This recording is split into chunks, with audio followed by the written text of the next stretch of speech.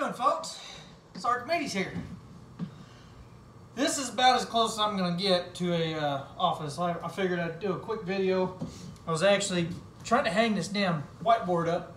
I've been wanting to hang this damn thing up since I moved into the house last year, and I was wanting to set this space up where I could work here. Uh, I just have some kind of a makeshift uh, makeshift desk, I guess if you will, but things just didn't turn out, and I kept looking, kept looking, and kept looking for a desk and could not find one. I still have yet to find one, and this is higher than what I want as for a desk, but I can make it work. Um, I've got outlets here. Let me give you a quick rundown. Obviously, my uh, to-do list has got me in a really, really good mood. And I know my handwriting's hard to read, but I had things on there like oh, getting electrical for the house, some uh, some new electrical wire. There's some things that I would like to rewire in here. I think I've explained those in a couple other videos. Um, buying lights and stuff for the, the kitchen and bathroom. Uh, I've done some of that. Uh, so I had gotten to erase those goals. Uh, have other things on there like making extra house payment. I, I still have a couple months to make an extra house payment. I'm pretty sure that one's going to be able to happen regardless this year. Um, I had other things on there like my appliances. Uh, I was able to do those. I was able to uh, put money back. I've got nearly $2,000 set back. And some of that I'll end up going through just buying more things for the house as I need. I still need things like ladders and such to get the rest of these items done to the house that I'm wanting to do. Um, and I have other things on there like I've got a 2000 model Suburban that I've got a bunch of extra parts for. I was wanting to sell them a while back, and it just they're not selling. So at this point, it's it's basically just a burden to have them around. Uh, what else do I got on there? Gutters for the house, some PEX. Um, I need an air compressor for the TIG welder that should be arriving tomorrow. I'm pretty excited to see how that bad boy is going to turn out. I had other things on there like uh, buying steel for the next workbench that I'm going to build. I've, i was able to purchase that. Um, so a lot of that list, I mean, that, that, this this board I had top to bottom for sure, and I mean it was written bigger, but I mean it was bigger and wider, and it took up from top to bottom. It pretty much took up the entire board. So I was able to clean all that up, get it off of there, and then rewrite the list with everything that I had written off. I think out of the 20 something things that I had written down, I'm down to 1, 2, 3, 4, 5, 6, 7, 12 items now that, that I have left, and some of those can still be knocked out by the end of the year. So, as you could imagine, I'm feeling really fucking great about myself. I mean, sincerely, like, need to give myself a pat, a pat on the back.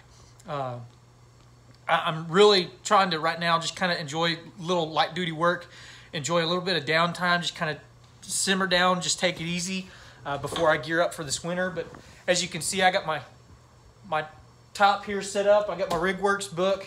I've got my, uh, my drawing book, which I'll use this book to draw up the plans, the sketches, the measurements on everything, and then I'll be able to take and laminate it and then send it to the garage. This way, under the lamination, it'll have protection from welding slag, grinder debris, things like that. If I set a cup on there, it's not going to ruin it.